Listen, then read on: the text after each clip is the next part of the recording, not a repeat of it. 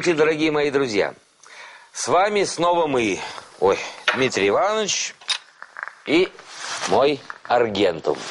Химия, мои юные зрители, наука уникальная. С одной стороны, абстрактная, поскольку имеет дело с формулами, мудреными законами, мельчайшими частицами, которые в микроскоп ты не разглядишь.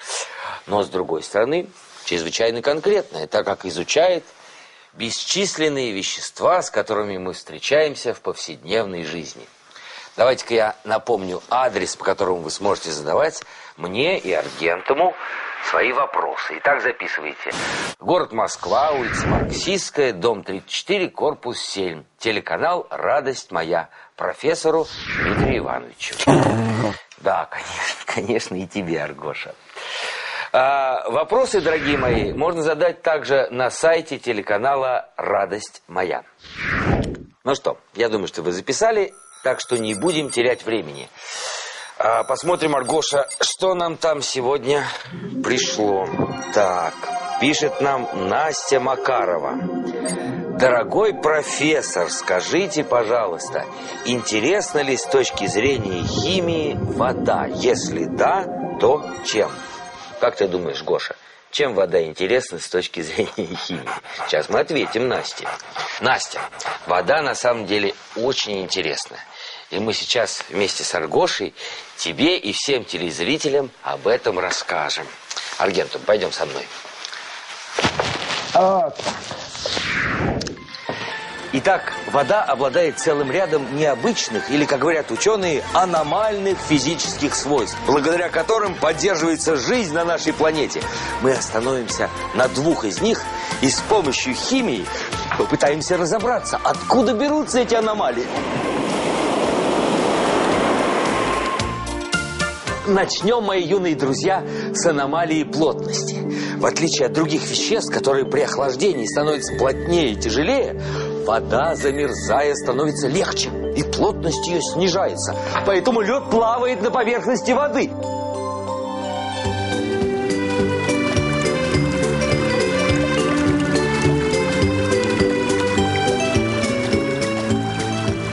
Представьте себе только, что бы было, веди себя вода, как обычное вещество. Лед с наступлением морозов опускался бы на дно водоемов, и постепенно вся толща воды стала бы твердой. При этом все обитатели рек, озер, морей погибли бы. Но благодаря тому, что лед остается наверху, да еще и покрывается сверху снегом, водные обитатели прекрасно зимуют под такой вот снежно-ледяной шубой. Ну вот, Гошенька, вот мы и дома. Ты бы сходил, помыл лапой. Второе необычное свойство воды заключается в ее чрезвычайно высокой теплоемкости. Она значительно выше теплоемкости большинства веществ. Ах да, я совсем забыл рассказать вам, что такое теплоемкость. Так называется способность поглощать и удерживать тепло. Так вот, вода в природных водоемах нагревается значительно медленнее суши, забирая при этом большое количество солнечного тепла. Полученное тепло она сохраняет дольше, чем воздух и земля. Не зря великий русский ученый Михаил Васильевич Ломоносов любил повторять «Ничто не происходит без достаточного основания». Ведь это удивительное свойство воды определяет климат всей нашей планеты. Как все-таки разумно да, устроен наш мир. Мы отвлеклись. Вернемся к воде. Итак, загадочные, так называемые аномальные свойства воды, о которых я только что рассказал, объясняются химическим строением ее молекул и связью, которую эти молекулы образуют между собой. Вот смотрите. У меня в руках модель молекулы воды. Она примерно в миллиард раз больше настоящей. Аргент, ну тебе этого стыдно не знать. Итак, задумайтесь. В миллиард раз. Это единичка и 9 нулей. Вот такая молекула на самом деле маленькая. Недаром химики называют молекулами мельчайшие частички вещества, сохраняющие его свойства. Правильно, Арген? Правильно. Однако малютки-молекулы не самые крохотные в мире. Ведь сами они состоят из атомов. На нашей модели это очень хорошо видно. Она состоит из двух атомов водорода и одного атома кислорода, связанных между собой особой химической связью. Есть смешная поговорка о дырявой обуви. Сапоги мои того пропускают H2O. Так вот, H2O – это и есть вода. Друзья мои, перед вами химическая формула молекулы воды. Давайте попробуем разобраться, каким образом атомы связаны между собой в молекуле воды. Давайте посмотрим на атом водорода, который стоит у нас в таблице под номером 1. Это означает, что у него один единственный электрон, который вращается вокруг одного единственного протона. Атом водорода устроен очень просто. Так вот, этот один электрон, он легко отдает кислороду, который обладает гораздо большим сродством к электрону, как говорят химики. Иначе говоря, способностью притягивать электрон. И что же получается? Водород отдает свой электрон кислороду, второй водород делает то же самое. Таким образом, водород заряжается положительно, теряя отрицательный заряд электрона, да? А кислород заряжается отрицательно. Иначе говоря, молекула воды электрически неравномерна. Здесь у нас область отрицательного заряда, а здесь область положительного заряда. То есть молекулу воды можно представить себе как диполь.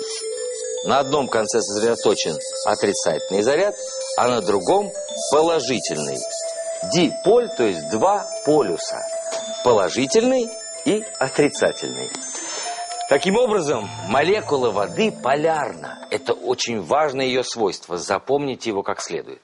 Итак, что же у нас получается? В жидкости а, молекулы воды находятся близко друг к другу. При этом положительный водород притягивается к отрицательному кислороду. А отрицательный кислород, конечно же, подтягивает к себе положительный водород. Иначе говоря, все молекулы воды связаны между собой. Они образуют цепочки, сетки. Такую связь химики назвали водородной. То есть молекулы воды все связаны между собой. Именно поэтому у воды такая высокая теплоемкость. Требуется очень много энергии, чтобы разорвать все эти связи и превратить воду в пар. Что касается льда, то здесь молекулы воды упакованные в жесткую кристаллическую решетку.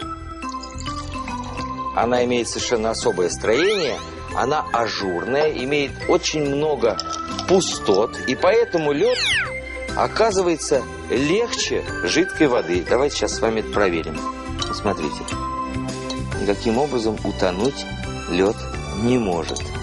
Вот почему плотность льда меньше плотности воды.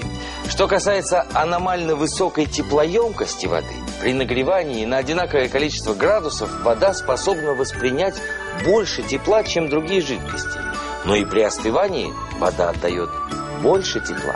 Поэтому, например, при нагревании вод Мирового океана под воздействием солнечных лучей и их остывании теплоемкость обеспечивает минимальные колебания температуры воды днем и ночью, летом и зимой.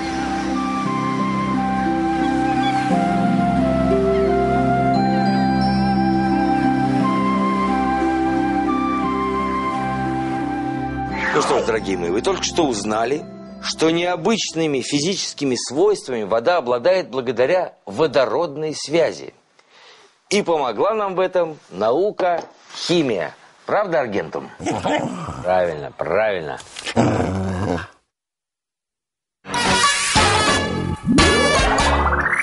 Кажется, нам еще пришло письмо. Гоша, ты не возражаешь? Я прочитаю его без тебя. Привет, пишет нам Наташа Вакуленко из города Старый Оскол. Уважаемый Дмитрий Иванович, в прошлом году на крещение моя бабушка принесла из церкви воды. Эта вода стояла у нас целый год и совсем не испортилась. Бабушка говорит, что ее осветили церкви, а освященная вода может и сто лет простоять, оставаясь свежей. Объясните, пожалуйста, Дмитрий Иванович, почему обычная вода портится, а крещенская нет.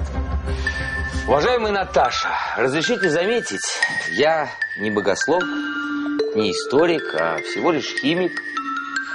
А по поводу заинтересовавшего вас явления могу сказать, оно на самом деле имеет место быть. И послушайте старого ученого, милая Наташа. Даже не нужно пытаться разобрать чудо на детали. Тогда от него ничего не останется. В чудо нужно просто верить. Гоша вернулся. Это значит, что нам пора прощаться. Наша передача подходит к концу.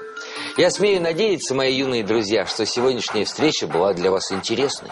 Вы узнали, как связываются между собой молекулы воды и как эта связь влияет на ее свойства. Убедительно прошу вас, присылайте свои вопросы по адресу город Москва, улица Марксистская, дом 34, корпус 7, телеканал «Радость моя» профессору Дмитрию Ивановичу и его верному помощнику Аргентуму.